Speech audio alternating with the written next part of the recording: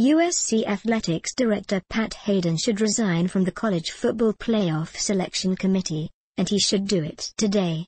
If he refuses, CFP Executive Director Bill Hancock should nudge him in that direction. And if Hancock doesn't want to go down that road, the 10 commissioners of the Football Bowl subdivision conferences should intervene and demand a change. What Haden did Saturday in the third quarter of USC's 13-10 victory against Stanford was unacceptable, unacceptable for any athletics director, but particularly one who will represent the Pac-12 on the CFP selection committee.